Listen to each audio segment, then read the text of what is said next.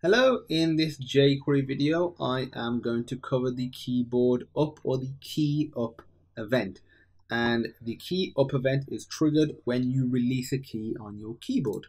So if we let's say just copy this so all you need to do is have some sort of selector, any selector, simple or advanced doesn't matter. You do dot key press function, the optional parameter of event, which just allows you to get some information about the event, such as which key was pressed. And I'm going to say key was released. So now if I, I forgot, I need to replace this with an up. I reload, go here.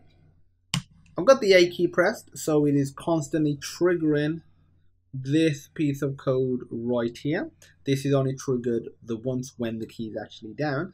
And now if I let go, as you can see, this stopped and this one was triggered. This key was released. So that's how you detect when a key on your keyboard has been released.